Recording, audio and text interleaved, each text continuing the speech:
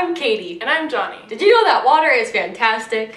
In this video, we'll talk about hydrogen bonds, the properties of water, water's density, and adhesion and cohesion. Did you know that 2.5% of the 365 million cubic miles of water on this earth is freshwater, which leads to 345 million without access to water, mainly in Africa? Water's amazing.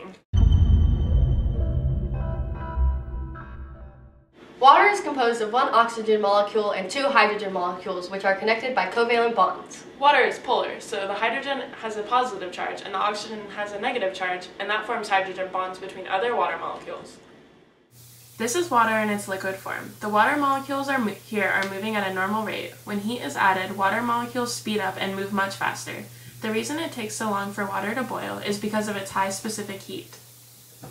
Because hydrogen bonds are not very strong, the molecules are constantly being broken and then reconnecting. The gaseous state of water is called vapor and is formed when a molecule is released when a hydrogen bond is broken.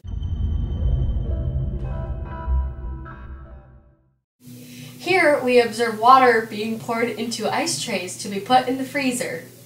When water reaches cooler temperatures, the molecules begin to slow down, causing water to become solid. As you can see, ice is not drinkable. The solid form of water floats on its liquid form because it is 9% less dense and takes up less space. Give me a C! Give me an O! What is that? Remember that the co in cohesion stands for two of the same things working together, so you'll be working with two water molecules. Give me an A, give me a D. What does that spell? Add. Remember that adhesion is a water molecule and another substance coming together. Adhesion. Go Bulldogs! This is adhesion and cohesion in action. The water molecules are connecting together and also connecting to the walls of the straw. For an example, this is how trees transport water up this island. It is contained in water! Water! Water!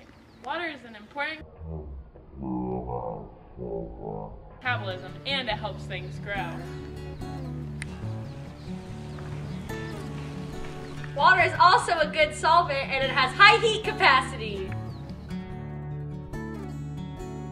Sadly, every 21 seconds a child dies due to a water-related illness, so water is very important. And a random fact, more people have a cell phone than a toilet. Thanks for watching. And I hope that's helpful.